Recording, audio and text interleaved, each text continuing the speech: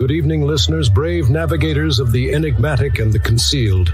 Have you ever felt the pull of the unanswered, the allure of the mysteries that shroud our existence? For more than a decade, a unique comic publisher has dared to dive into these mysteries, unafraid of the secrets they might uncover. This audacious entity is Paranoid American. Welcome to the mystifying universe of the Paranoid American podcast. Launched in the year 2012, Paranoid American has been on a mission to decipher the encrypted secrets of our world. From the unnerving enigma of MK Ultra mind control to the clandestine assemblies of secret societies. From the awe-inspiring frontiers of forbidden technology to the arcane patterns of occult symbols in our very own pop culture. They have committed to unveiling the concealed realities that lie just beneath the surface. Join us as we navigate these intricate landscapes, decoding the hidden scripts of our society and challenging the accepted perceptions of reality. Folks, I've got a big problem on my hands. There's a company called Paranoid American making all these funny memes and comics. Now, I'm a fair guy. I believe in free speech uh, as long as it doesn't cross the line. And if these AI generated memes dare to make fun of me, they're crossing the line. This is your expedition into the realm of the extraordinary, the secret, the shrouded. Come with us as we sift through the world's grand mysteries, question the standardized narratives, and brave the cryptic labyrinth of the concealed truth. So strap yourselves in, broaden your horizons, and steel yourselves for a voyage into the enigmatic heart of the paranoid American podcast. Where each story, every image, every revelation brings us one step closer to the elusive truth.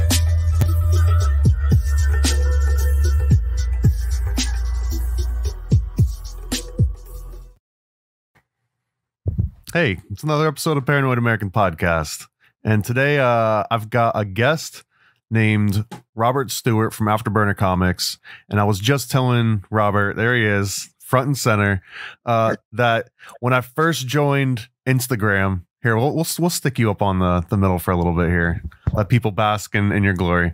When I first joined Instagram a few years ago, um, I was like a baby into social media, and Robert was one of the very first accounts that I followed. And ever since then, I've I've kind of like I was joking. I've seen like your whole journey, but I realized that the journey goes way more than whatever two years or three years uh, that gets posted on social media. But by I mean that is like I don't think we've ever spoken or talked before. We might have like texted back and forth uh, a couple yes. times but like I've seen you post, you know, in music and at releases and uh like posting comics and and more in particular is like it looks like you're hustling out there, man. You're hitting the streets, you're going into local comic shops, you're getting your books placed, you're taking pictures of like, here's my book, here it is in this shop, here's the shop. Uh, and I love that because like I understand a large part of that, and it's not the the easiest thing in the world to do uh, and it doesn't just automatically happen. It's one of these like really. So, anyways, before we get all deep and dirty into like the the business of comics, uh, welcome to the show, Robert, and please let anyone know where they can find uh, your stuff. Afterburner Comics, uh, Tales of the Cool and Wicked, right? I got that right. Uh, where they can find everything. Hi, everyone. Tom, thank you very much for having me on the show. And um, as Tom said, I'm Robert Stewart from Afterburner Comics. I'm the writer, the artist, and the publisher. Uh, you can find my works at um, the website afterburnercomics.com, and you can follow me on Instagram at afterburnercomics. So, and your your main title, um, where did this come from? I, I want to just jump right into Tales of the Wicked and Cool. Where, like, where was the inspiration? You're on volume what, like seven or eight at this point? Yeah, I'm. Um, I've got number ten coming up, and uh, the title is uh, Afterburner: Tales of the Cool and the Wicked. And um, as far as the title, um, a lot of it comes from um, my military background. I was in the Navy before, so I was always around, you know, seeing the the uh, the F-14 planes flying around. And when I came up with the name for my comic series, I wanted something that that kind of gave the connection to, um, you know, action and something moving forward. And so, to me, it was natural to uh, to use the name Afterburner.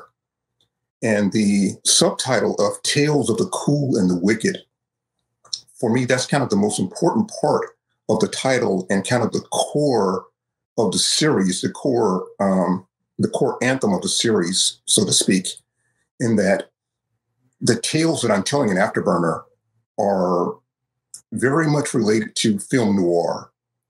And if you're familiar with the film noir genre, a lot of film noir was that you'd have these really, you know, cool settings and, you know, um, you know, these long dark shadows and, you know, these private eyes that were, um, you know, maybe intermingling with, say, like with the, um, someone like Lew Archer, the private eye Lew Archer, he was in, L- in LA, but a lot of times he would spend a lot of his time in you know Beverly Hills or you know these really posh places where from the outside everything looked really cool and attainable but once you got within the realms of those areas you start to see some of the more i guess some of the more um, some of the more darker areas where they were uh, whether it was from a mindset or just for their intents and purposes. And for in the um, in the sense of afterburner, I kind of leave it up to the to the reader to decide which of the characters is you know kind of a cool person and which of them has wicked intentions. Uh, so I I think I know what film noir is, but I honestly, if you, if this was like a pop quiz, I'd probably get like a D or a C. Like I might get a passing grade, but but my mind goes right to kind of as you're describing it, um, that like that gumshoe or like that that Dick Tracy almost style detective with like the swinging lamp and like the the broad or the dame that shows up and needs help. Is this what we're are we talking like Roger Rabbit, um, sort of era? um, I, I, I, would imagine that Roger Rabbit would be a. Um, well, the, the, detective from Roger Rabbit. I right, forgot. right. Eddie. Um, Eddie. so, um, so for that, that's right. The the detective in Roger Rabbit and that entire, um, I guess the the entire film world of Roger Rabbit was kind of inspired by film noir. When we're looking at film noir, it's more of a genre that um, that tends to have certain elements to it. A lot of it is um, the setting. When I say the setting, I mean things like the lighting. Um, you'll have these um, uh, these lots of shadows, um, shadows in the the environment, and also the intents of the of the characters. So, from a modern perspective, it's something that I could um, describe to you that would be a good example of film noir. Would be something like um, Oh, oh, I'm trying. I'm kind of blanking on on modern perspectives. Um, I think things like I can recommend you something like uh, Double Indemnity that had Barbara Stanwyck and Fred MacMurray. So that's a very famous uh, movie that would have probably just a classic film noir um, type of setting, and also um, from comics. I think the the prominent book from comics would be um, The Spirit with Will Eisner. If you look at Will Eisner's Spirit, um, just his layouts, his pacing, um, the femme fatales, femme fatales are an important part of film noir. Um, and I think that again, the the the textbook from that is is uh, is Will Eisner. Look at Will Eisner's Spirit and from Will Eisner's Spirit, you see the connections to um, Frank Miller's Sin City. And in a film, uh, film media, then look at stuff from, say, I would put Quentin Tarantino stuff into the film noir category. Also, something from um, Michael Mann. If you saw the movie with Tom Cruise and Jamie Foxx, was that Collateral? Uh, I believe so. Is when when uh, Tom Cruise had yes. like dyed hair or something. Yes, yes. So I would put that in the film noir category. I would put, um, oh, of course, L.A. Confidential uh, a couple of years ago with Russell Crowe. But some of the the main elements that you're going to see in film noir are going to be characters that are duplicitous. So they'll have um, they'll state one objective, but they've actually got an underlying objective to whatever their cause is. And also you'll see, as I say, the these um uh, the the world environment is almost a character in itself in film noir. And film noir, you have to have a femme fatale. is it's, it's, it's essential. And I think that's especially essential in today's environment when we look at um, how we're or how mainstream media is trying to incorporate a lot of different people and characters into storylines. Um, I think film noir shows a strong template for a very effective way of how that can be done. Uh, because when you look at the classic femme fatale, um, on the surface, they may seem like, um, you know, like they're they're just a passenger in the narrative, but as the story progresses in a film in a in a film noir story, it becomes very clear that the femme fatale is actually the driver. The femme fatale um, is actually um, a lot of times um, the mastermind behind the the events of the story, and there's a subtlety there, and I think that plays in well to the different dynamics of um, as people as individuals, um, how we all use our our own innate strengths to to progress, as opposed to trying to copy um, the strengths of someone else. That that doesn't work very well. Uh, we have to play within our own field and play with play on our own strengths. Um, comic book terms, think of the difference between, say, um, Batman and Superman. Two very different individuals from a mindset, from a purpose, from a goal, and from a power set, but very effective in using the tools that they have. Um, and that was a bit of digression, but I'm trying to connect the the points um, and uh, show the relationships between um, the film media and the sequential narrative of comics. Uh, I like that. I actually, I guess, in my in my own bumpkin mind, I never really considered that film noir. Like, I understand the shadows and some of like the monochromatic aspect, and even yeah. when you describe the environment as a character, I get all that. But I guess I had never until you just sort of explained it in a really great way that the the ambiguity of intention of every character is almost like this other trait and just like the aesthetics are shadowy it's almost like you take that same shadowy aesthetic and apply it to the story itself and the characters themselves which is a really cool because now that I'm going through all the old noir movies, it is like every single character, you're always like they're up to something, like they're plotting yes. something. And the it's a really good about the femme fatale too. And I realized just like film noir, I think I know what a femme fatale is, but like, is there a checklist? Like if, if there's a movie, like a film noir movie comes on and Robert's watching it, you've never seen right. it before, right? Uh, right. Uh, and let's just say it's called the femme fatale, but like right. they open and there's 10 different ladies that get revealed.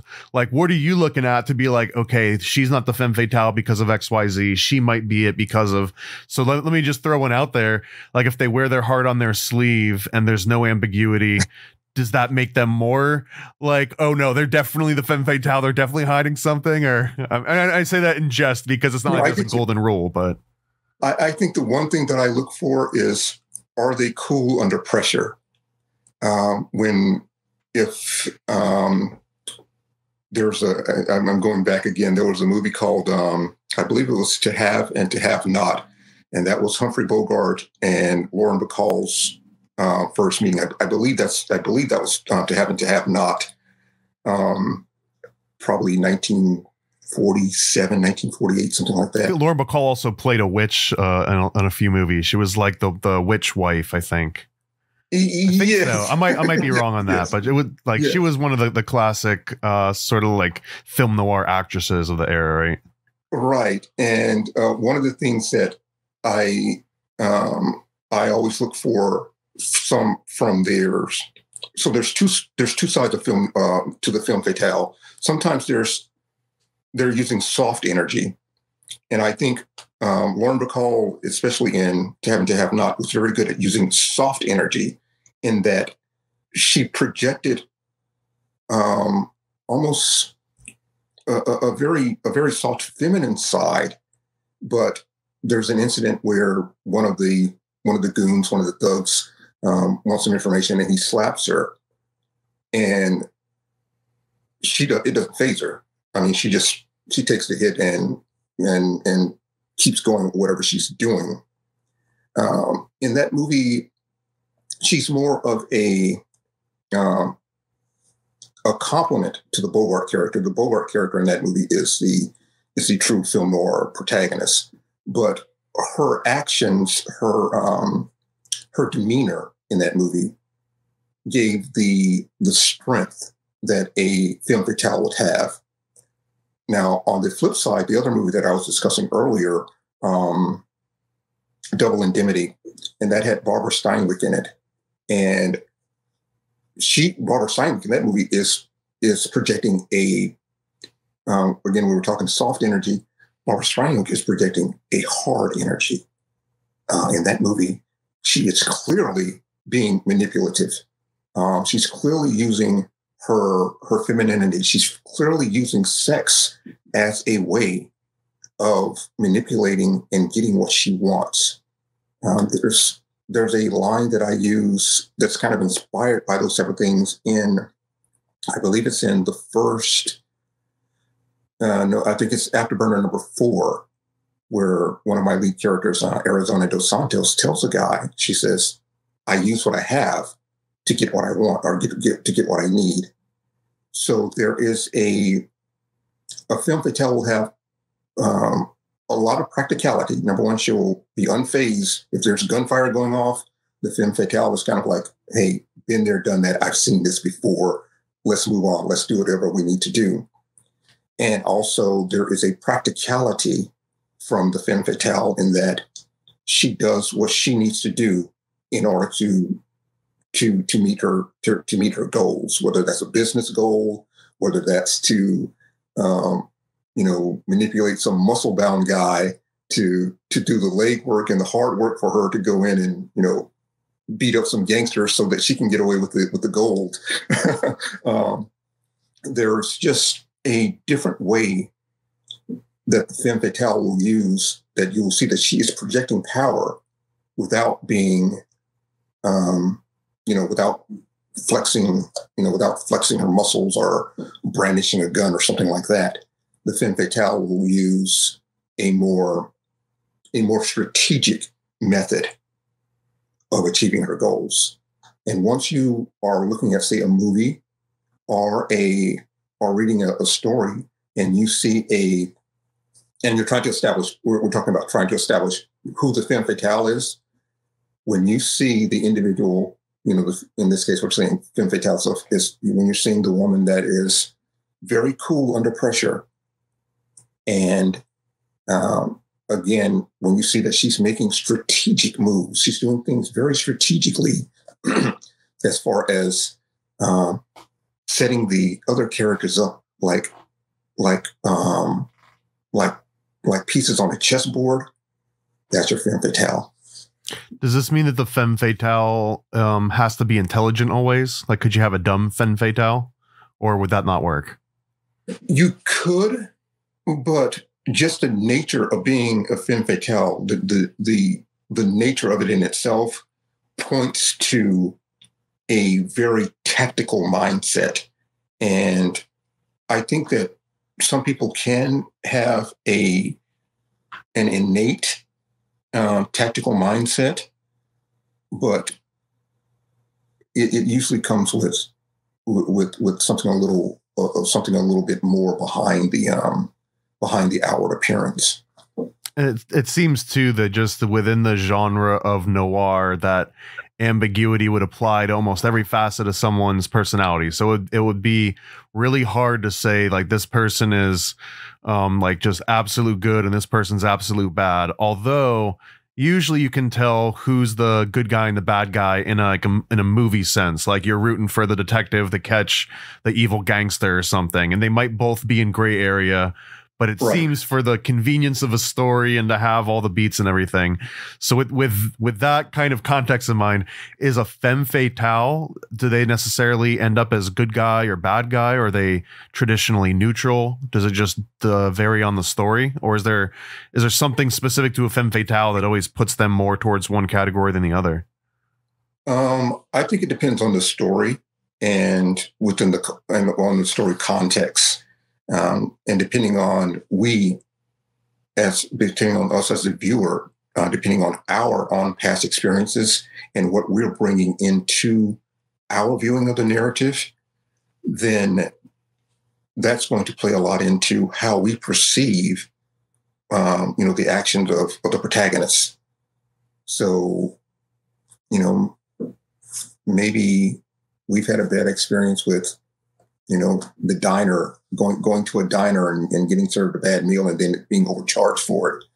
And so, if the femme fatale wants to, uh, if her goal is to rob a diner, then you know we're going to cheer for that, and we're going to say, yeah, yeah, yeah, yeah. Um, she's she's not a bad person. She's just you know um, trying to trying to get a, a, better position in in you know in her situation.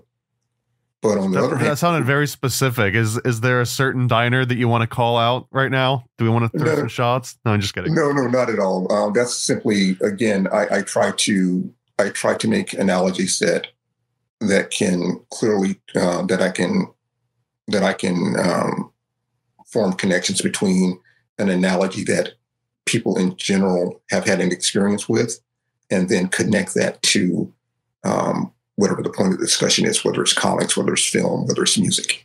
Okay, I like that. Now it was, a great analogy because now the viewer has some bias that plays into it, and I did, I guess I would assume too that the nature of a femme fatale being tactical and self-serving is that if their end goal happens to align with the protagonist, well then she's a good guy in that movie. But if Right. it happened to vary, if like if for example if if they share the same interest except for hers changes a little bit like they both want the gold but the tweak is that she wants to keep it at the end um, Right. that might be different and there's so many of those movies too where i guess the femme fatale um you're put into that situation where it's like they can either give the gold to the protagonist and be like you know normally i'd steal this but you're the real one you know i, I actually love you this time but if that ever happens it, it almost like takes all that power away and it's like if you're gonna fall for indiana jones or if you're gonna fall for james bond or fill in the blank how did you even get this far like how did you get to the final level Right. if you're so susceptible to that so to piggyback on that is Yeah. every one of james bond's love interests a femme fatale Um, I don't think so. no I, I, I don't think it's his, his uh, the the uh, the the the female characters in the in the James Bond franchise. I would not. I'm is trying that to think- because it's outside of the noir or is there something specific about them that that like you know takes them out of the running of being femme fatales Um, I think the, because the only the only two that because usually, and, and and understandably, this is part of the you know this is part and parcel for the James Bond franchise, um, and the and um, you know just the, the storyline of the storyline is that James Bond is the is the protagonist, but I think um, the only two that I can readily think of right now would be um, Maud Adams. I think Maud Adams was Octopussy with in the movie. Uh, one, that was one of the Roger Moore movies, and she actually turned out being. I think she actually turned out being kind of like a double agent, or or she had nefarious, you know, nefarious plans, um, but she was pretending to be someone else. So I think she was probably the closest to being a femme fatale because she used all of the resources that she had around her, including James Bond, um, to to to get her goal of. I think she was trying to goal G O A L of. Um, I think she was trying to get revenge on someone who killed her family. And the other one that I can think of was um, in Goldeneye. Was it? I think it was Goldeneye with Pierce Bronson, and um, I believe that was Fran, Fran Johnson. She played Jean Grey in one of the X Men movies. Um, she was a a very formidable villain in that movie, but that was her. You know that that was her gig. Being the villain was the gig. She was the heavy, and she didn't have a a turn point or any point in the film where um, she decided that you know she's gonna she's gonna uh, save the cat and save the cat as a reference to um, a a film instruction series that one of the main ways that you want to have your audience connect with your protagonist is to the, the title of the, the, the, the, series is Save the Cat. You want to have them um, in a meta, in, in, a, in a, as a metaphor, you want them to save the cat or have them show some type of, no matter how hard the character is, at some point in the film or in the book, you want to have them show some type of empathy um, for someone that's weaker than them or some object, you know, that's weaker than them. And in um, in Goldeneye, that character never Anna on the top. She never had that that type of um, th- that type of scene. So I really can't think of other than Maud Adams in um, in Octopussy. I can't think of any other uh, James Bond uh, female that that had that type of um, film uh, film fatale, classic film fatale um, type of character arc. I like I like that rule. I haven't heard that before. Save the cat, but basically have a character show some sort of altruism, like just complete, you know, to the benefit of someone other than themselves. And with what you said specifically, someone weaker than them, because then it would be true altruism. Because I guess if you do something nice for someone more powerful than you, then it could always be contrived as being some sort of like a self-serving thing. But if it's for someone right. weaker and it's just like passing by, you just save a cat from a tree or whatever. Exactly. Uh, I like that. That's a that's a great little yeah. cheat code of like you know build some empathy for this random character. Right. What about modern? Like, what's a, a modern version of a femme fatale? Is there any like movie you've seen recently in the last couple years that maybe wasn't classically made to be you know a noir style femme fatale, but it's like that character's the femme fatale in this context? Um, it's really difficult from from a modern standpoint because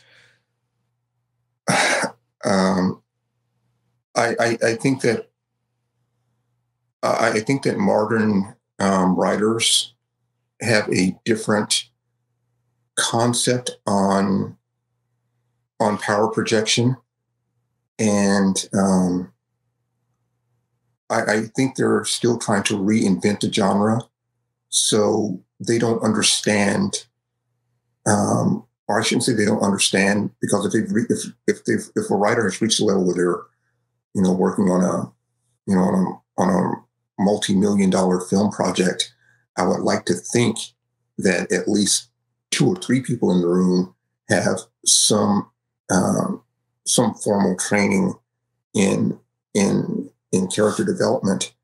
But I think I think they're trying to reinvent the genre, and it's taking them a while to get things correct uh, or, or, to course correct.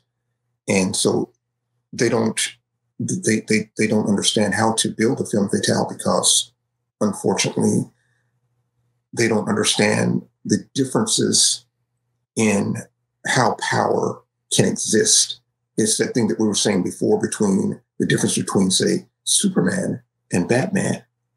Um, if you only see power as being able to lift up heavy things and you know fly and throw shoot lasers. If you can't shoot lasers, then what are we even doing here? right, but in, in that case, but if you've got Superman and Batman in the room together, Batman is the most dangerous person in that room. And but you know the the the the he's using a different skill set, a different power skill set and I think as an audience, we can recognize that. Um, and as writers, modern day writers, I think they they can recognize things on that level. That okay, um, Batman's the most uh, dangerous guy in that in that scenario. Does that mean he wins? Does that mean Batman versus Superman locked in a room? Batman wins that fight. And again, that that comes from the classic thing has he has he been did, did he have time to prepare and if he's had time to prepare and the whole essence of especially the modern day take on batman is that yeah this guy's he's already prepared um, the same thing if you see um, from you know batman and superman are, are, are the um, are the, the DC examples. But if you go to the Marvel side of things, um, you know the the common thing for for the Black Panther right now is that T'Challa is the most dangerous man alive. Um, but you know, without the you know without the um, the, the Black Panther uniform, and even without the um, the sacred herb that he takes, um, the guy's just you know just absolutely the most deadly guy around, and it's more so because of um, what they're using up here and you know the the motivation and the the, um, the strength of will that they have in their heart.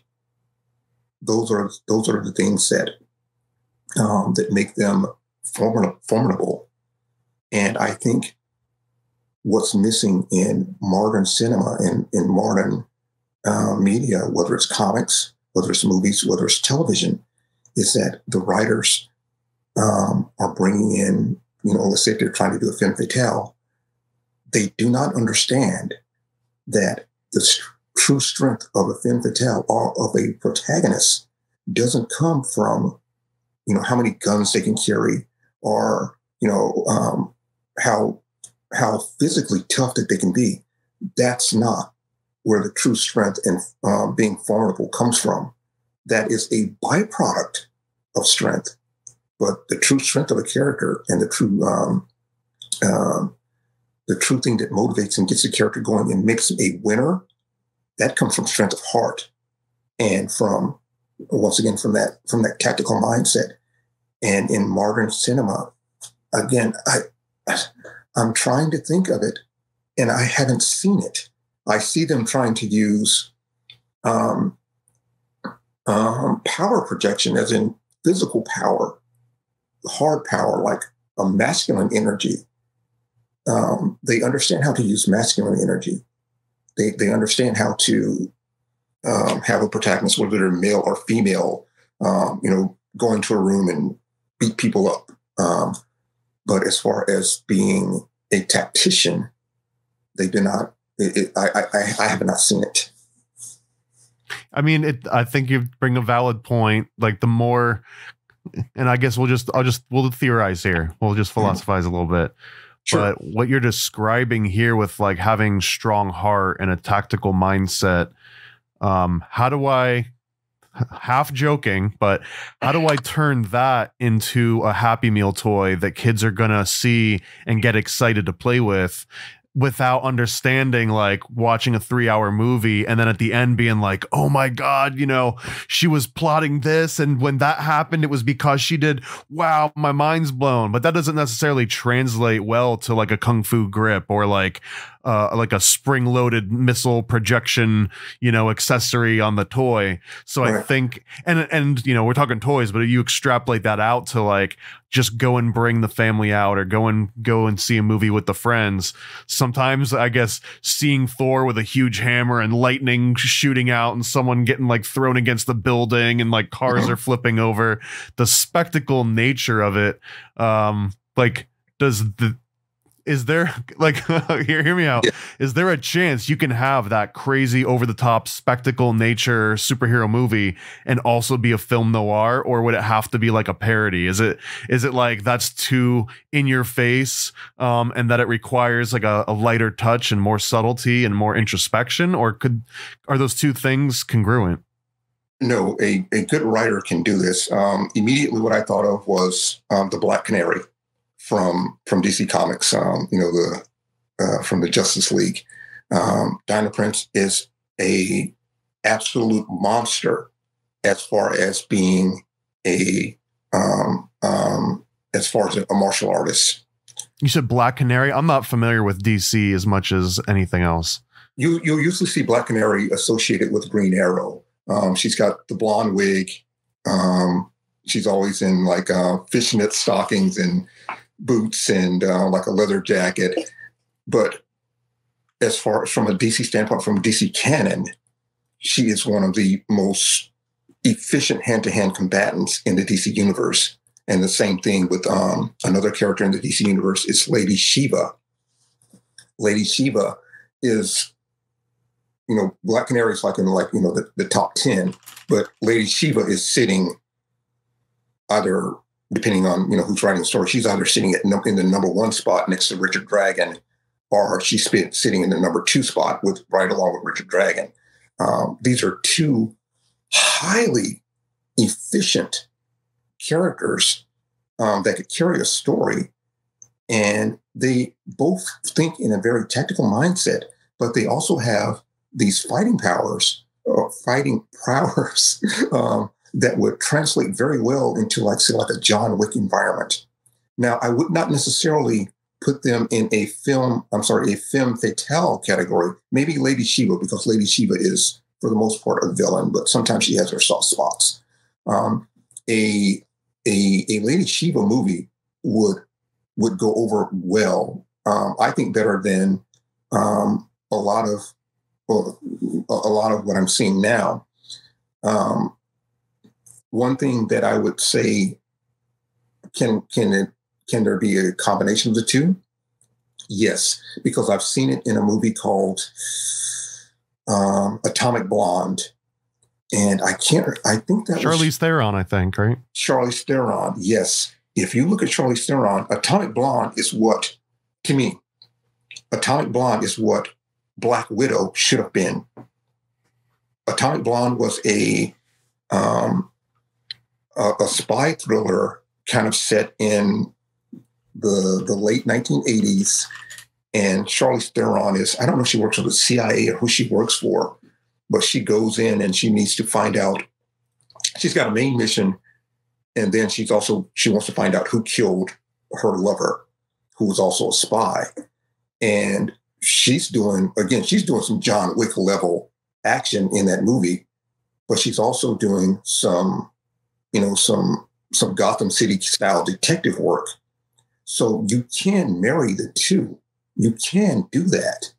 Um, but again, she wasn't in that film. She was not a femme fatale. She was, you know, she was a main action protagonist. But again, to me, Atomic Blonde, maybe throw in a few, I don't know, cyborg or something like that. That should have been what uh, what black what the Black Widow movie turned out what, what, what we got for the Black Widow movie should have been Atomic Blonde. And from the another side of it, um, a couple years ago, Robert Downey Jr. did a Sherlock Holmes movie, and um, the same thing. They showed Sherlock Holmes as the as a detective, being very observant and you know, having these strong situational awareness um, uh, skills, but they also showed him um, having these almost like MMA style, um, you know, fighting techniques.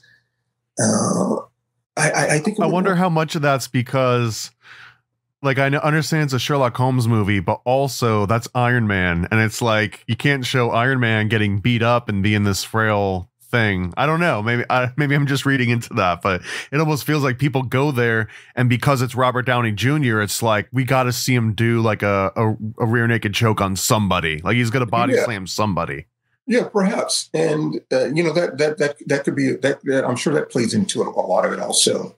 Um, but there was also a German series. I believe it was a German series because I saw it and I, it was it was definitely not a uh, a USA production, but it was it was based on the Sherlock Holmes myth- mythos, and they did a similar thing. It was a very serious detective drama, but um, the Watson character was, um, you know, a war vet from, um, I think maybe the maybe the Afghanistan campaign, not not the 2000s Afghanistan campaign campaign, but the um, the late 1800s British um, campaign.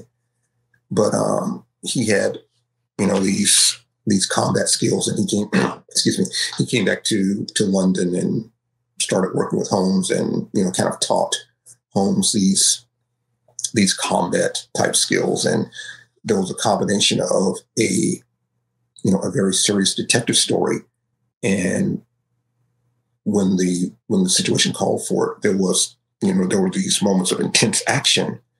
So it is possible to do it, but I don't think, again, I don't think that modern writers have figured out the code yet. They haven't reverse engineered it yet, or at least they haven't made the connection in their minds yet to say that, hey, just like we did this with um, with Robert Downey Jr. and Sherlock Holmes, um, we can do this with um, I don't, I don't, I don't know where the the hot when I mean when I say hot, I mean the the current film actresses that can handle these these physical roles. You know, I assume you like like Brie Larson is the one they're throwing most of the Marvel movies at, for example, like the Marvels.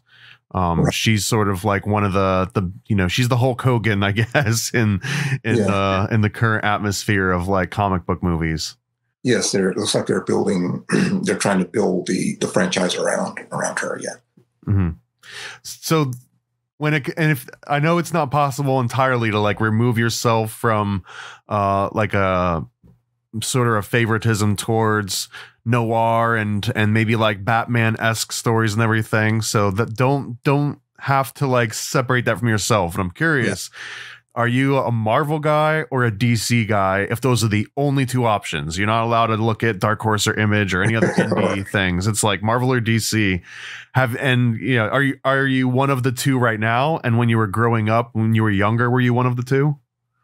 Um, I think I would veer more toward the the Marvel side of things because, and that's because when I was growing up, I grew up in a very small town, and so there were a couple of places to to get comics but for some reason, I don't know, maybe for the, just because of the distribution, I saw more Marvel comics than I saw of DC comics. Um, so, you know, I was, it was very easy for me to find a copy of Spider Man or, um, you know, at that time, um, Luke Cage, Power Man, or, um, you know, Captain America, the Avengers, or something like that. Those are very easy. And um, there was an old store uh, in town that sold, I don't know, almost like farm goods or like ranch goods. But for some reason, they had this old box of three or four old boxes of comics, and they were all Marvels. Whoever that collector was collected Marvel comics. Um, and so there were all these Marvel comics, especially like Thor, copies of Thor from the 1960s, um, late, late, late 1960s and early 1970s. And so that's what I had my that that was what that is what was accessible to me. So it gave me um, an affinity for the Marvel style of storytelling and you know um, the art pacing.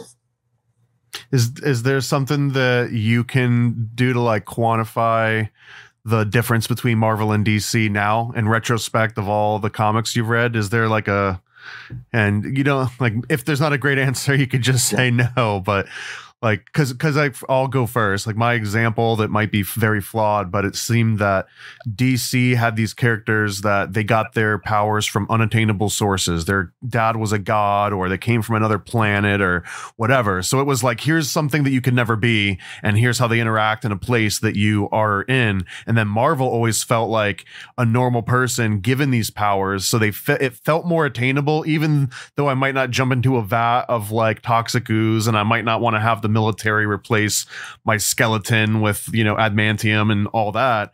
But it was like that was a normal person. And i guess i felt a con- like a more of a connection between me and say wolverine than me and superman uh, because like he's literally an alien. So is there any other way that like you uh, kind of perceive marvel versus dc in, in similar ways? You know and i, I agree. Um, that's very similar to to how i looked at it too in that the marvel heroes um, didn't seem to have that same cosmic level of power that the DC heroes had. So they were more relatable. And also the Marvel heroes had more relatable um, problems or situations, let's say situations and challenges. Once they were in their civilian identities, um, you know, Peter Parker had problems with his boss. Peter Parker was clearly a photographer. You know, growing up, I loved things like art and photography, so I could relate to Peter Parker. I could relate to, um, you know, at that time, I guess he wasn't really, when I was reading, he wasn't really in high school. He was still, you know, going to um, college. But I could relate to um, him as far as his ideals that he, the, uh, the ideals that he was expressing while he was in his Spider-Man uh, persona I could relate to what he was saying, and then I could relate to the situations that um, he was having as Peter Parker. And the same thing with even with someone say like say like Daredevil, um, you know, those are things that you know even without the you know the radar sense that Daredevil has and you know things like that, it it just felt like if you trained, if you trained your your body, you know, from the physical side, and you did everything that you could to you know on the inside to to develop your sense of character, you could be Daredevil, or you could be the Black Panther, you could be Captain America. Um, you know, now, you know, we think of Captain America as a super soldier guy, but there was a point in the 70s where, you know, Cap didn't have the super soldier uh, serum. He was, you know, just a regular guy with a whole lot of heart. And um, that really resonated with me. I'm not even sure I even knew that. I just figured that Captain America always had the super serum, and that's what made him Captain America. So there was a like a sober, there was a straight edge Captain America uh, before the super serum. Well, not not before the super serum, but during the '70s, there was a storyline there. Um, it was it was very very brief, maybe a, a, year or so, where he didn't have the serum. But even, even you know even depending on where you look at Cap throughout the the entirety of his of his of his career, it's not the super soldier that makes him that makes him what he is. That's it's great, not. The, I'm sorry. Point. It's not the it's not the super soldier serum. It's not the serum that makes Cap what he is um, with it or without it, he would still be the man that he is. Yeah, it's a great point because that the serum could be given to anyone. It doesn't just make you Captain America. You got to be Captain exactly. America first, and then that's like throwing a little bit of fuel onto the fire. So, right. do you have a top three Marvel? Um, current Marvel, I'm not. I'm not really big on um, we'll just say forever, like even going back yeah. to the 50s and 60s. What what's the top three? Even if you have yeah. to qualify it with a genre, like or like a, a period, right? right. Um, I like, um, um, of course, Cap. I, I, I, like Cap. I like what I like what Captain America stands for. Um, people think that Captain America stands for the flag and that he stands for the government. No, that's not what Captain America stands for. He stands for the ideal um, he stands for the ideal of um, of freedom and freedom for everyone. So I, I like what he stands for, and he, you know, no matter what, he won't stop until he's he's done what he can for everyone. So Cap's my top. Um, for some reason, I, I like Daredevil, um, and I think that's because of the Frank Miller run. And there was um, for a brief moment in time, um, Howard Chaykin did a character called um, Dominic Fortune. And Dominic Fortune was kind of like a 1930s um, Indiana Jones kind of adventurer. And I really like the, the Dominic Fortune character. Again, I'm pulling this up because I'm not I'm not familiar at all. Yeah. The um that was a, a Chaykin character that he did um, oh, he's got the boots, man. The yes. those Marvel boots. yeah, yeah, he's got the Buccaneer boots, and I guess um, everyone did at one point. Everyone had to wear yeah. those. Yeah, uh, that him and um and of course you know the, you know I, I I love the I, I, I love the the cinema the cinema interpretation of the Black Panther, and I like what I'm not sure who did the maybe it was Christopher Priest did a run but that was like back in the 90s or something like that. I've never even heard of the this Sable and Fortune. It looks the covers look awesome. Yeah. So, do you have a top three DC? Um, DC, I like. Um, I, I, I, like the concept of of Green Lantern. Um, you know the this whole cosmic the, the whole cosmic cop um, concept of Green Green Lantern. I like that. Um, both of them, the original Green Lantern, the the Alan Scott version. Um, I think he had the most visual, the strongest visual appeal, and I think um, the you know the the later interpretation, the, the Gil Kane interpretation of Hal Jordan um, as Green Lantern, and you know the Green Lantern Corps. Um, I really connect with them, and also um, um, I like the question. Uh, the question had an outstanding run. Again, I believe that was the '90s and early 2000s with Denny O'Neil and Denys Cowan um, at the helm of those, and they took it. They really, they they, they really um, leaned forward into that whole Zen aspect of the question, and you know, bringing in these elements of Sun Tzu and things like that. So, and also they were bringing in, in Lady Shiva know, into that series. So, the question, and probably if I had to pick a third one, it would probably be, um, yeah, Green Green Lantern, um, the question, and yeah, the rest of DC is kind of kind of. I, I, don't know if they're really. I don't think it's really written for me. I mean, we're we are uh, alike in that way, but I also always wonder: was it just because of accessibility? Like, first off, um, and then it followed that I was like, no, I relate more to Marvel. I don't know, yeah. maybe, but uh, yeah, dude, Mar- Marvel was always kind of cool. So okay, so if, if we were to take a step back and you can expand your horizons outside of just Marvel and DC, maybe yeah. that includes imprints and stuff. Do you have any uh, like publishers? or you know imprints that like if they come out with something new you're automatically interested just because they tend to put out stuff that you really like love and rockets the hernandez brothers if if i see a love and rock if i see something from the hernandez brothers um, especially jaime um, if i see love and rockets i pick it up i don't you know i don't flip through it to to see how see, see what the story's like or anything like that that's that's an immediate buy for me um, a lot of the um, Mike Mignola stuff with Hellboy. If Mike mm-hmm. Mignola's doing Hellboy, that's usually um, an automatic buy for me. And um, and again, you know, stuff like Will Eisner. Um, if I see a, a, Will Eisner artist book, I'm picking that up. If I see something with um, uh, he did Terry and the Pirates uh, I can't believe I'm I'm blanking on his name, but he did Terry and the Pirates. He did Steve Canyon. Um, oh man, I'm blanking on his name.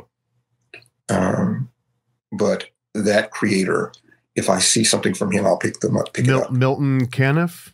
Yes, yeah, the- Milton Caniff. Yeah, yeah. If I see Caniff, if I see Caniff, if I see Will Eisner, if I see Alex Raymond, who did um, um, Flash Gordon and Rip Kirby. I'll pick those up. Uh, but th- again, that's not that's not current stuff. From a, yeah, I was going to say you might not find anything new by Caniff. Yeah, uh, if, if, you're looking out for it, you might be disappointed.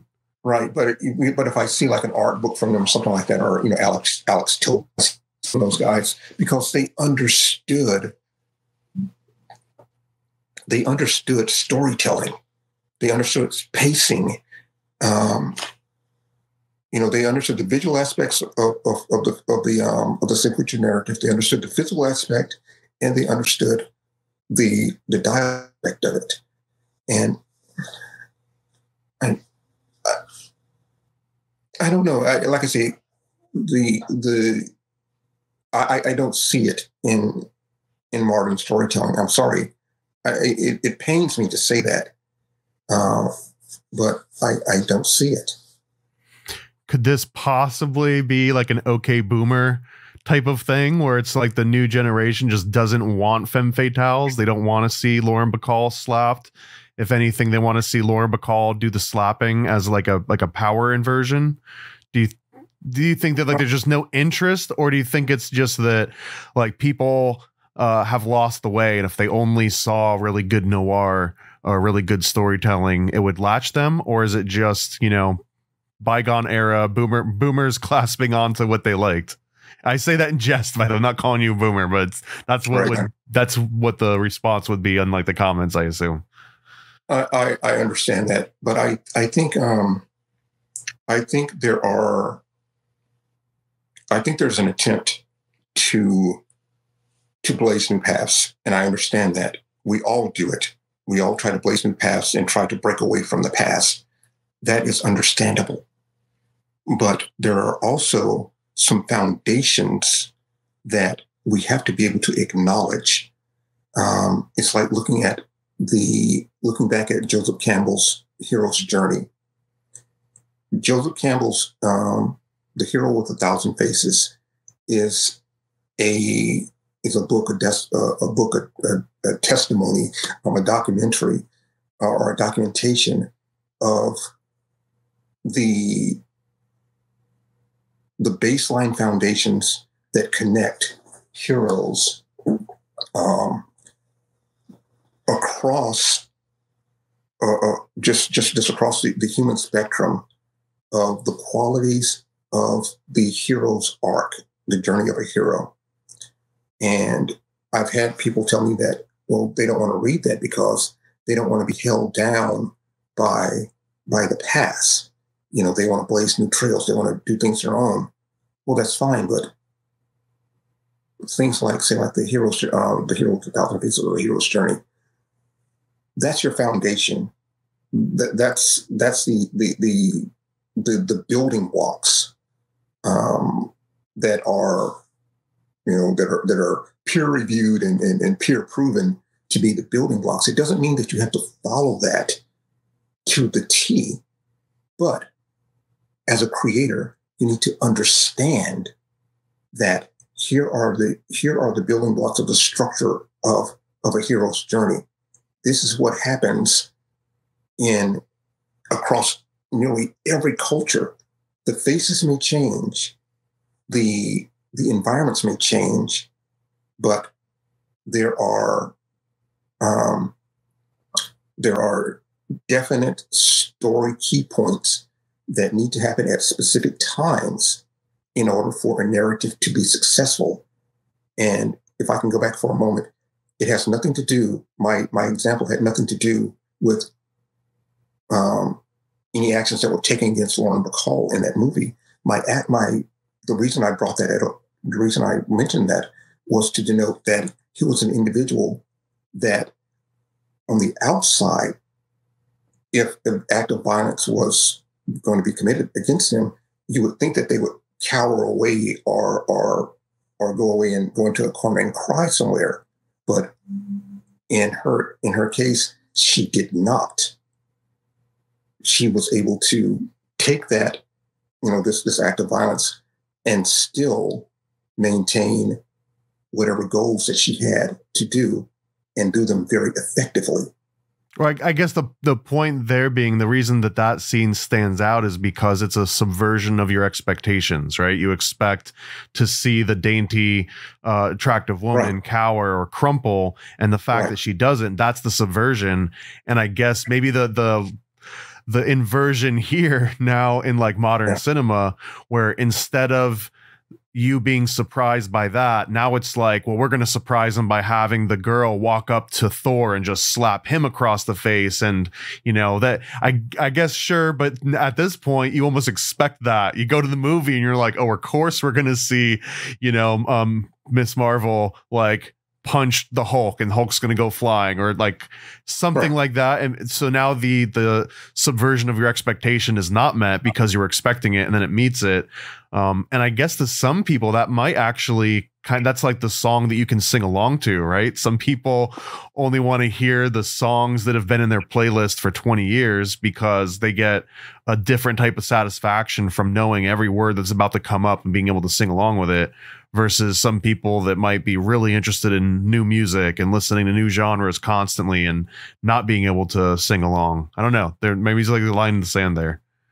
Yeah, and um, and and, and I, I, I definitely agree with you with that. Um, it's just that I have concerns when I hear or, when I'm presented with a retort that um, understanding the basics of say things like storytelling or music are seen as um, it's trying to hold on to the past when you know it's just trying to it's it's it's just understand it's um, just a basic understanding of pure math. Um, it's it's like denying math. Um, if someone says that they don't have a taste for modern music. Well, maybe that's a genre thing, or maybe it's because there's certain things in music, your circle of fifths. um, you know, again, circle of fifths is a peer-reviewed uh, method methodology of how music is structured. And so for a modern musician to say, hey, I'm going to make music and I don't I don't want to I don't want to learn about the the foundations. I don't want to learn about the circle of fifths thing. Well, yeah, go ahead and give it a shot. And what you come up with may indeed be quite creative, but you would be a lot, you would go a lot farther if you took five minutes to sit down and look at the circle of fifths to see how musical notes have a relationship and, you know, just the basic elements of a one, four, five progression. Just, just look at those things and then understand those basic concepts and work forward from there because that work's already been done. It's like saying, I want to be a scientist, but you know, I don't want to read about this Isaac Newton guy. I don't want to read about this this Nikola Tesla guy. I don't want to read that stuff. I want to go out and and, and find my own answers. Well, okay, you're going to be able to do it. You're going to find some answers and you're going to find them in your own way. But guess what? A lot of that groundwork has been done and it just ends up being reinventing the wheel. And so that's a lot of that's a lot of creative time that is being spent where you know this creator could have been creating something a total a complete package if they already if they basic if they already underknew these if they already understood these basic concepts. It does not mean holding tight to the past and and and just re, regurgitating and retelling those same old stories or re-singing those same old songs but you have to have a basic understanding of the foundations as an artist it is important to look at um, to look at the classic the classical artists say like Michelangelo's looking at um, you know just pick up a George Bridgman's book. You can go to any half price bookstore or go on Amazon and get George Bridgman's um, anatomy book. Pick it up and look at how musculature um, looks underneath the skin. How you know how the the the um, the body is is structured into stacks that doesn't mean that it's it's hampering creativity. That doesn't mean that it's not it, it, it, that you can't move forward and blaze new trails. But you have to understand the basics. You have to have a basic foundation before blazing new trails. Otherwise, you're going to blaze new trails and then you're going to crash and burn. Yeah, and and uh, it that's a, such a good example out of like a very practical one is understanding human anatomy and that's another thing that like even self-taught artists uh, after you've worked with like many many artists like hundreds and hundreds of artists over the years at least for me it's you can usually tell someone that understands anatomy and then is breaking the rules of anatomy to like overemphasize certain things uh, and then someone that just maybe was never interested in it um, and then just draws things on how they imagine the body kind of works without like really studying it and it if there's one tip for an artist that draws people, I guess in particular, but if you start to understand those muscle groups, if you can just remember what they're called, by the time you remember what they're called, you'll be able to draw the human figure better because you kind of understand like where they're at and and uh, how they react and how it stretches skin and adjusts the proportions and all this. But so I've got a strained analogy here. I hope I hope it holds up uh, th- from my head into formulating words and everything. And just to be clear, these are my words, not yours. So if if I get some of this analogy wrong, but it, it almost as you're describing this, uh, I'm thinking of like the conspiracy community, which I've got one foot in comics and one foot kind of in conspiracy. These are like the two worlds that I live in.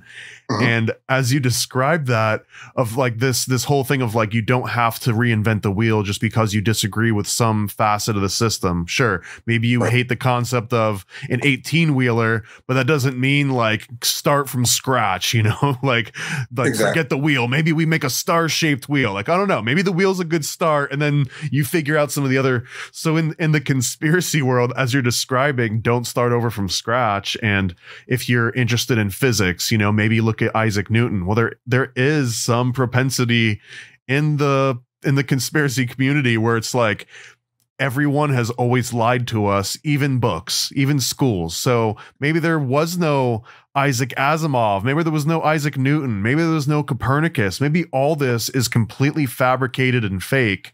Uh, and I guess in particular, it's like uh, some people that are in like the flat earth community tend to point at that and say, well, of course you can disprove it if you use all these made up words and terms and science and people that never existed. Don't bring up Copernicus. He was invented by the church or whatever, right?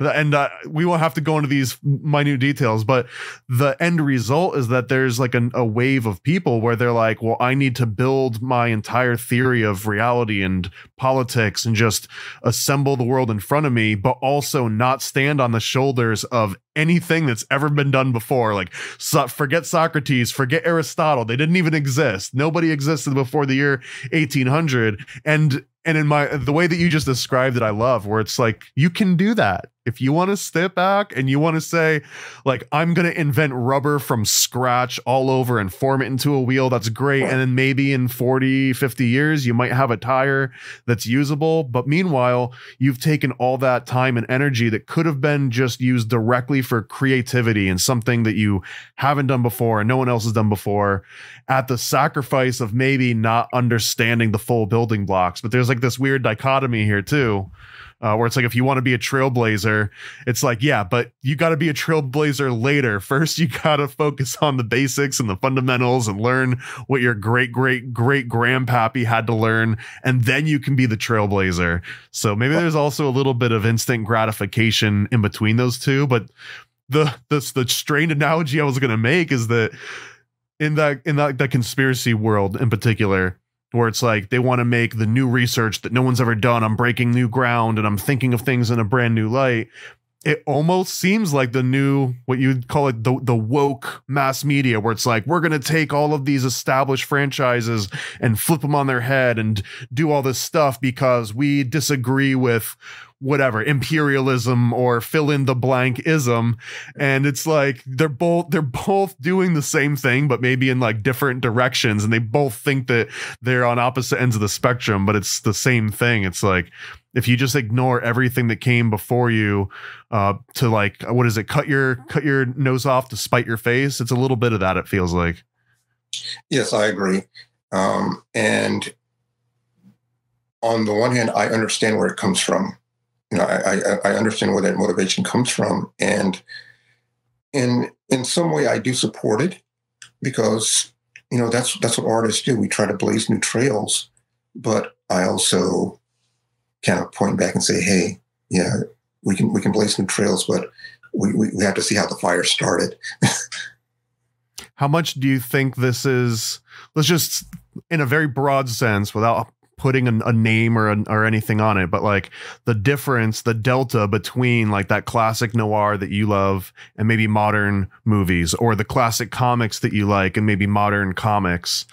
Um, like what would what do you think would be the main difference between these two things? So like this new generation that's coming and writing this do you think that it's coming from the artists or do you think it's coming from the corporations or do you think it's a blend of the two? Like would you if there's a needle is it like more in the artist column? It's like oh it's the artists and the writers that are coming up from a new generation?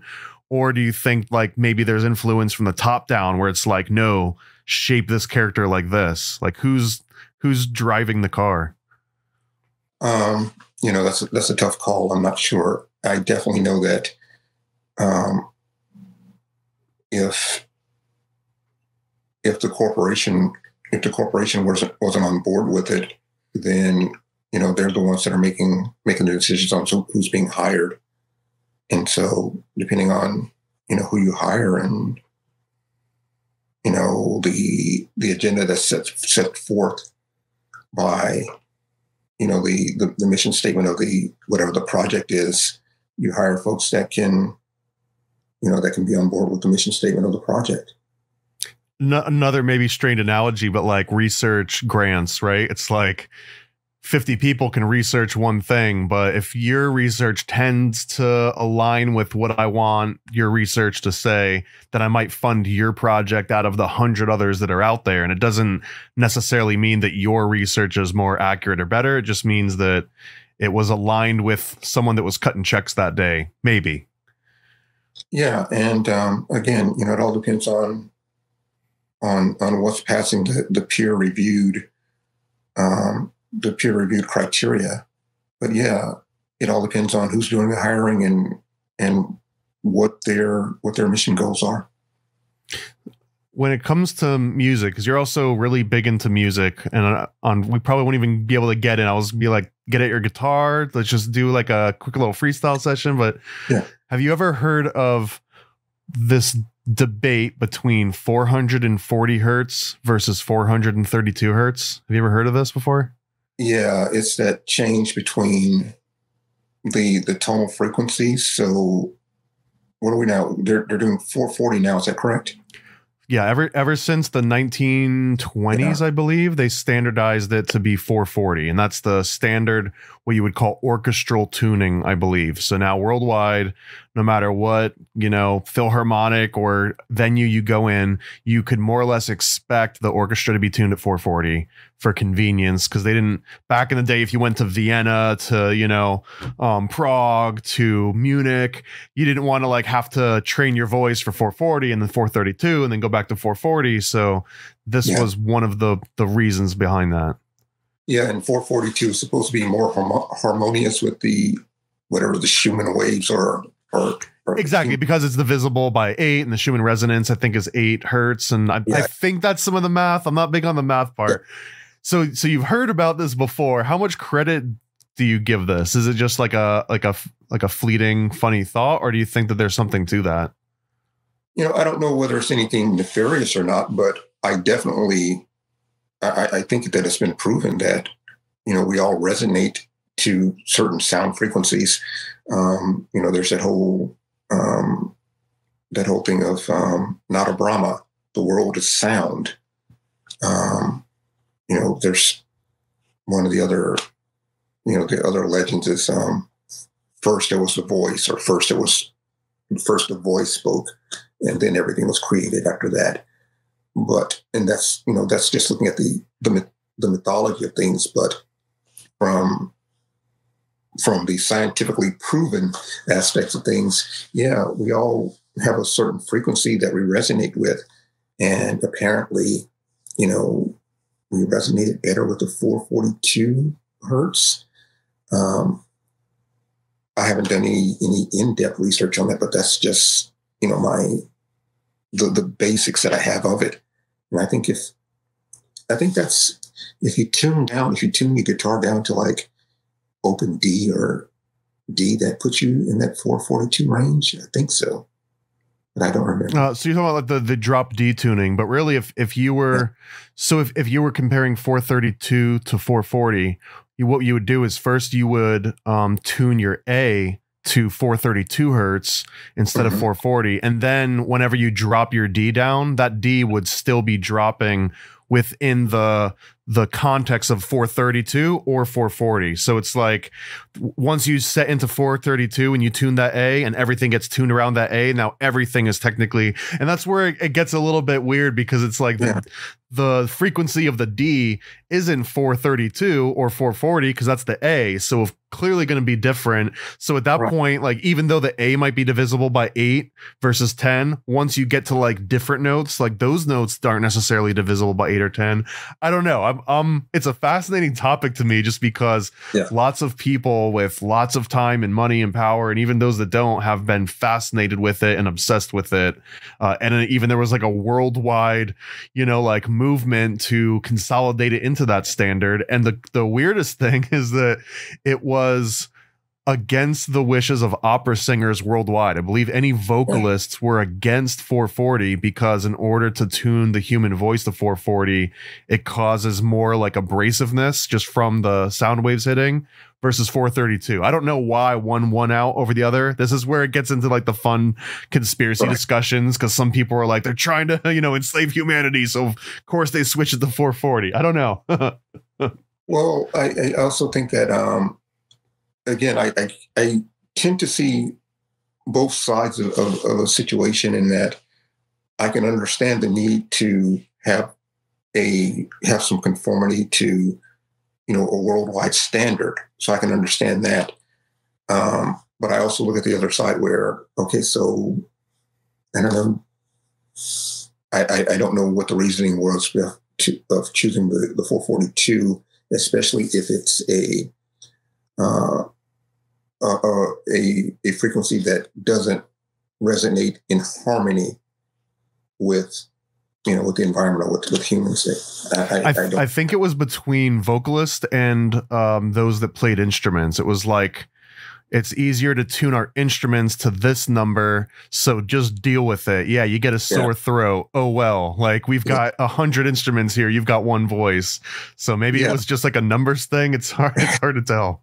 Yeah yeah as opposed to something um you know some some nefarious mastermind plan of there was a huge movement that that i think peaked in the late 80s or 90s by a really odd political guy lyndon larouche um, but he was like he spearheaded this movement to try and convert the world back to 432 uh, mm-hmm. over 44. It was unsuccessful, but he got incredibly popular with opera singers for a small amount of time because again they were like, "Yes, please, we've been waiting for this for you know 60 plus years." But yeah, it it didn't work because it's I don't know, it's such a weird thing. Like how many people are really going to be passionate over like retuning instruments worldwide and in right. the process of that invalidating the the tonal consistency of the last like you know five to six decades of music. It's weird. It's like sunken cost fallacy uh at the level of like a worldwide you know industry of music that everyone's in on because everyone's got something at stake. It's weird. Right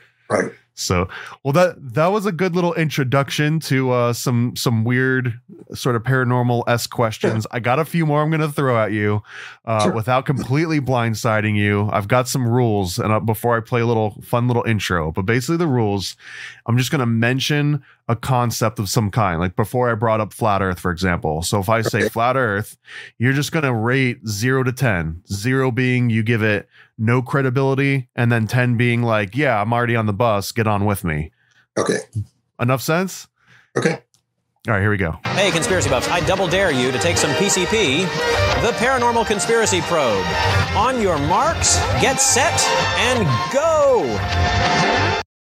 All right, question one Robert, are you a cop? Because if you're a cop, you have to tell me right now. That's how this works. I'm not a cop. okay. I don't I don't ever believe anyone, even when they say no. I I understand you're allowed to lie to me and to build the case, whatever. I know you're taking notes. Okay. Well, let's just start out on the example. Flat Earth, zero to ten. Maybe a three.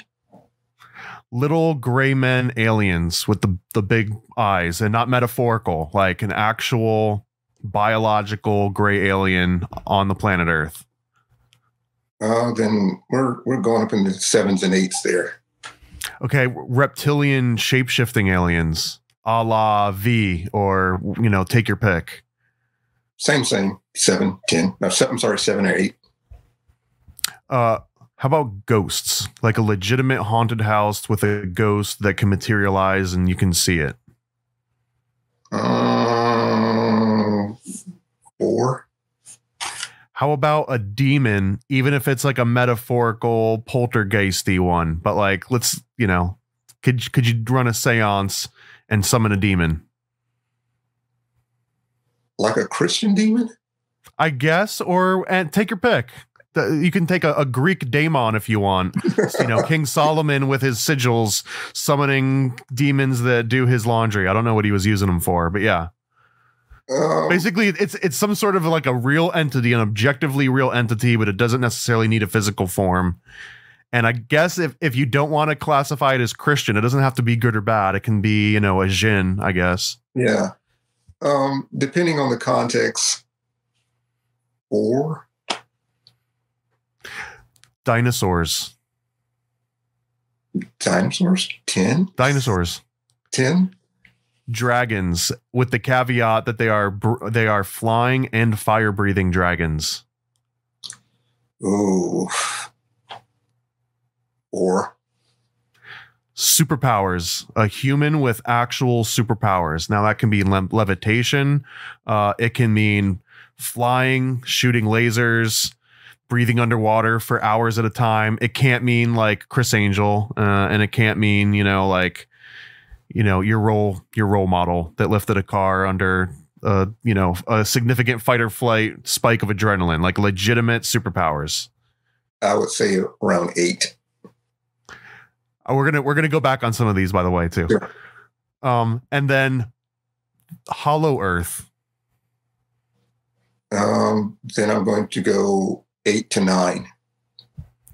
human beings landed on the moon in the 1960s Um, I would say 10. I believe that happened. how about uh what was it india india just landed on the moon right like Right. this year Mhm. zero to ten on that I would say 10. all right i want to i want to walk back because you can you're off the hot seat now Okay. and we said eight on superpowers. So i just want to hear like what when i said that what's what's going through your mind that you're like oh yeah eight because of this way that i just thought about it Um, I would say eight because I'm thinking of like the, you know, like the Shaolin monks or okay. the yogis, the yogis that um, that meditate for you know years and they can, you know, do like the astral projections or just kind of put their bodies into a different state.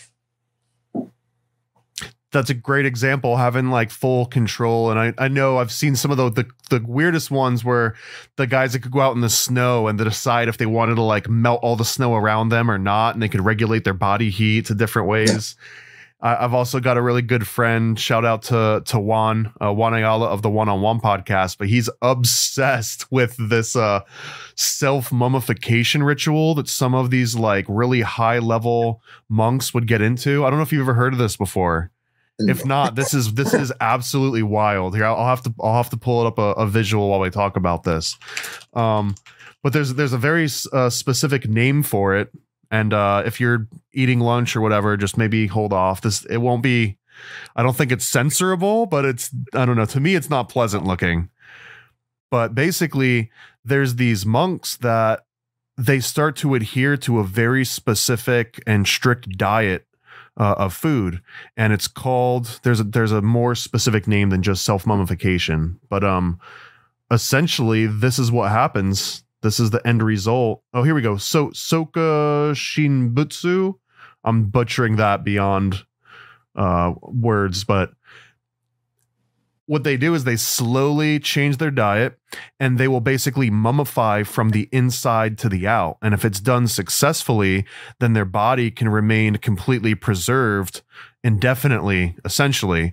But if they screw up even a little bit, uh, then their body succumbs to just the normal process of decay. So it's like all that work for nothing and you still die from it. So anyways i would okay maybe this isn't the most uh, uh biggest flex of a superpower of like i can go and mummify myself but the amount of i guess heart like that captain america style heart of like everything my body's telling me is that like I'm killing my, you know i'm, I'm hurting myself but it, they still go through it because they believe that i think this frees them from like the karmic cycle uh, because they're not like giving anything to be reborn again like they're just preserving themselves uh, in place. But anyways yeah you brought you brought up the shaolin monks and like the superpowers. Yeah i 100% believe you. And in fact i might have been like a five before and maybe now i'm a six because that's a great example man do you have a favorite wu-tang uh, persona within the the 36 chambers I do not. you know are you a wu-tang fan at all Um, not really. Uh, on the I, I had to ask just because you brought Shaolin uh, Shaolin monk up at the very beginning as as your example. So yeah. I was thinking maybe like Bobby Digital or something. I don't know.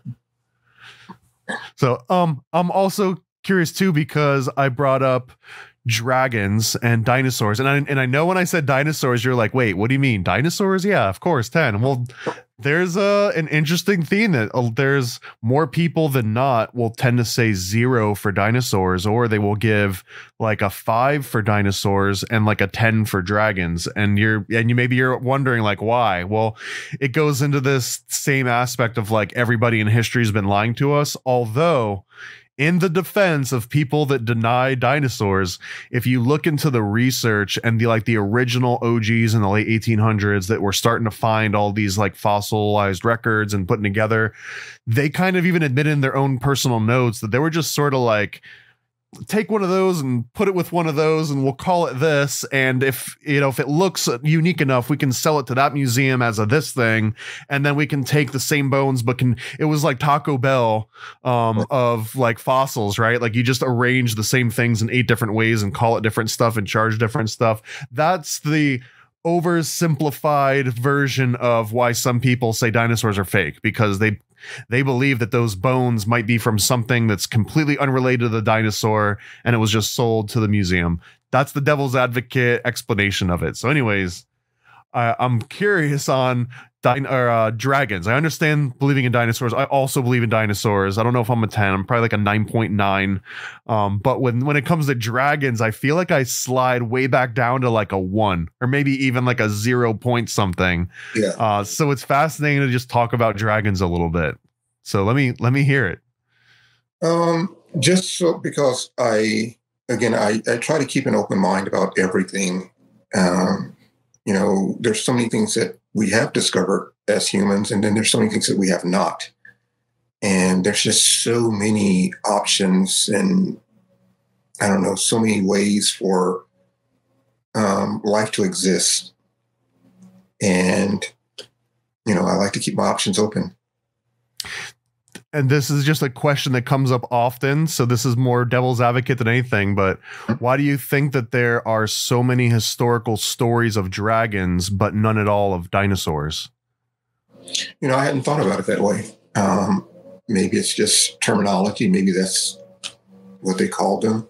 Uh, maybe when they found the dinosaur's bones, they didn't have the concept um, or the, the resources and, like I say, the situational awareness to conceptualize it any other way than to say that it was something, um, you know, supernatural or something like a dragon.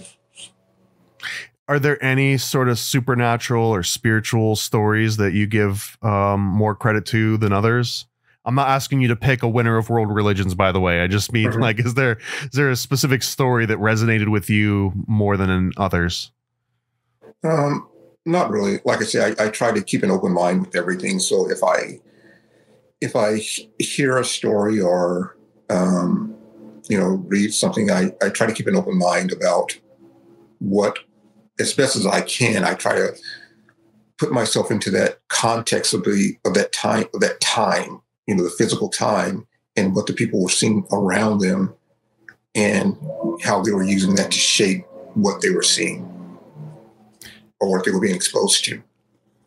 and i i want to wrap this up a little bit but also like open a brand new can of worms that shouldn't be the last question but let's just just just do it anyways. But how are your thoughts on ai man? What do you do you see ai as a net positive a net negative? Uh do you does it leave a bad taste in your mouth? Does it make you you know more optimistic for the future? What what comes to mind I think AI is inevitable. I think AI is the future of what we're going to become.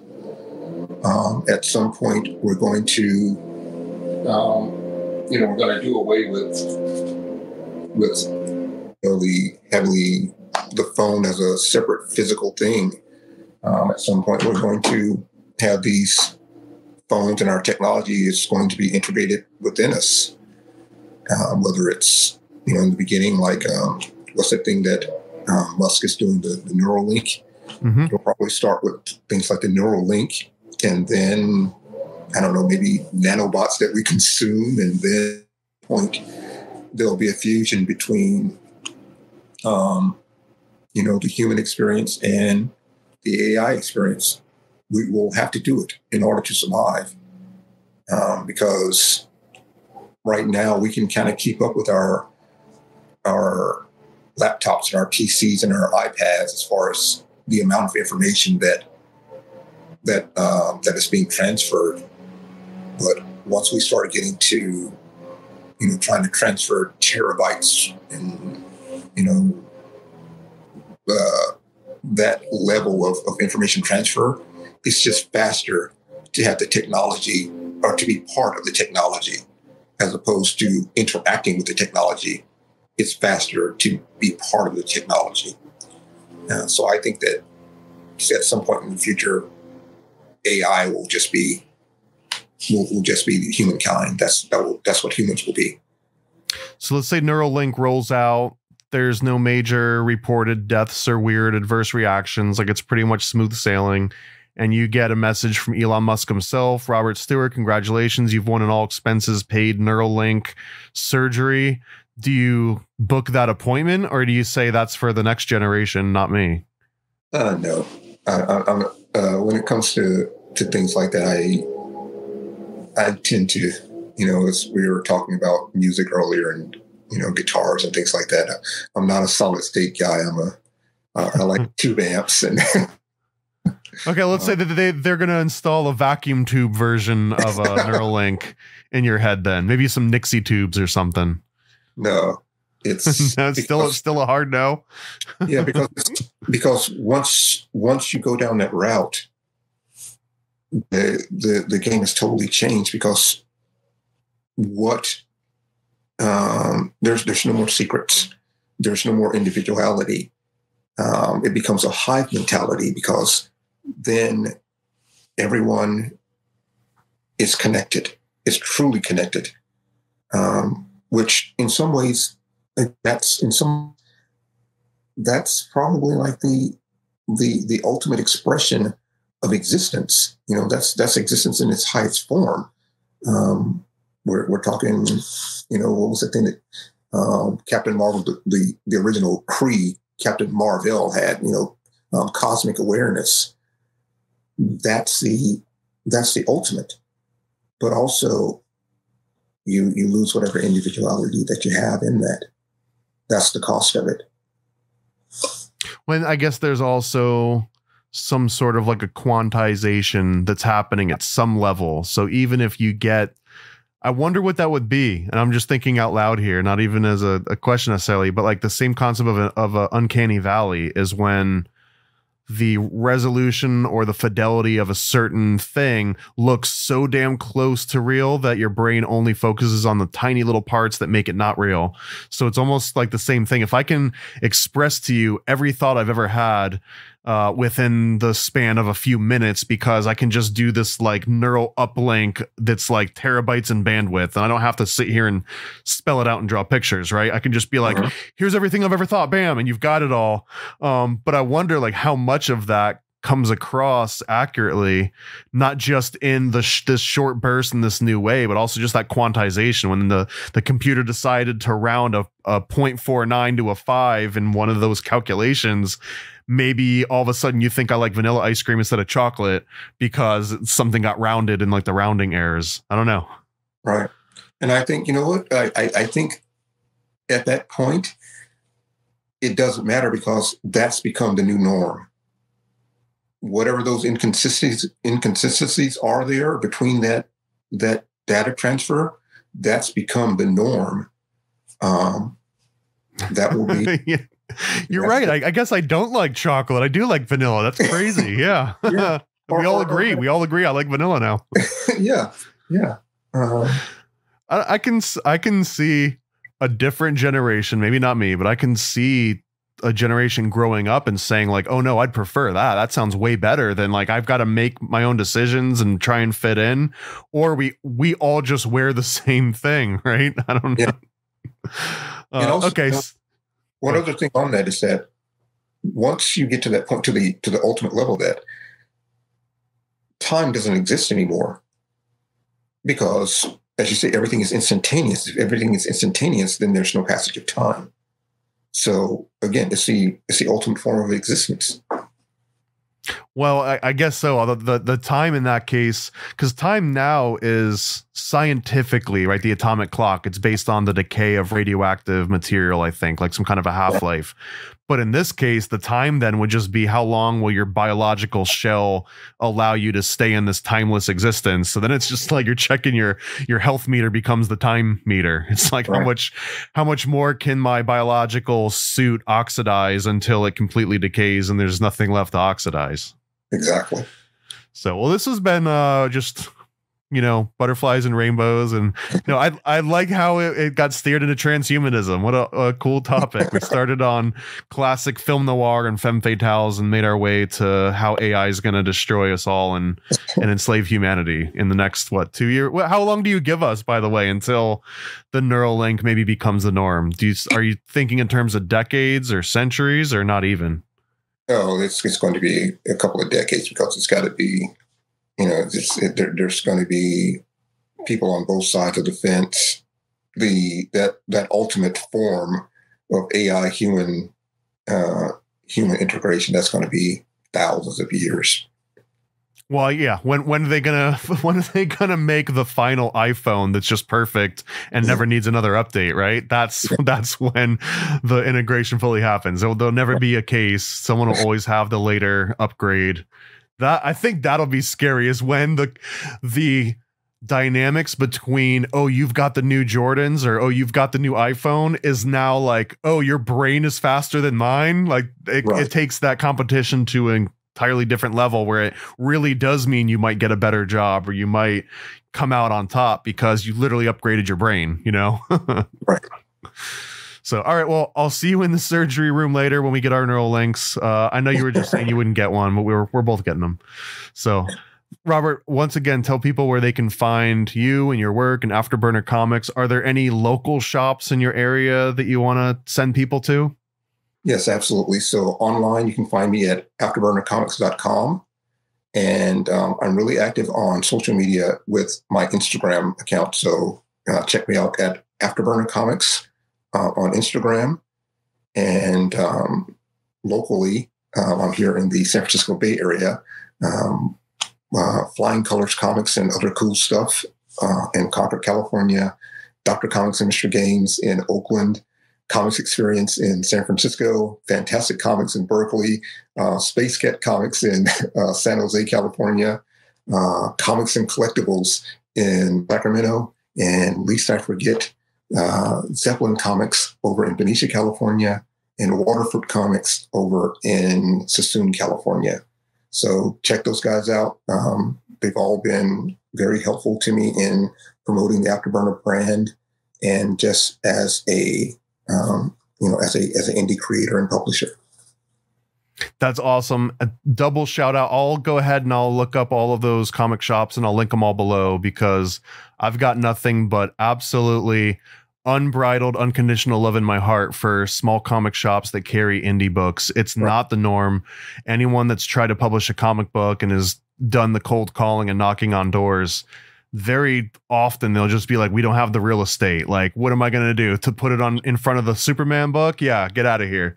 Um that i'm paraphrasing that's not an exact conversation but it's kind of the gist. So anytime there's a comic shop that is willing to give shelf space to indie comics thank you so much. Um, yeah. they're what makes the industry in my opinion still interesting. If everything was just a marvel or a dc comic uh, I don't know how long it can sustain itself. Maybe indefinitely. Who knows? But I don't read those kinds of books. I read stuff like Afterburner. I read stuff that like Robert's putting out. So go and check those out at his website. And while you're at it, go and buy one of these two. Dive into a realm where comedy meets cosmic adventure. Chaos Twins, created by comedian Sam Tripoli and comic publisher Paranoid American, will sweep you off your feet Join two girls with the astonishing ability to morph into animals, rally with their cryptid crew, and traverse diverse dimensions. But you don't have to take my word for it. Sign up now at chaostwins.com. In a place as curious as Crown City, adventure awaits at every turn. Meet Anna and Becca, two spirited souls navigating a world filled with wonders and weirdness. Alongside their trusted allies, Biggie, Mathilda, and the Chupacabros, they'll stand against aliens, reptilians, and mysteries beyond imagination. Dive into their captivating tales and discover a world where anything is possible. For more information, visit chaostwins.com, samtripoli.com, and paranoidamerican.com.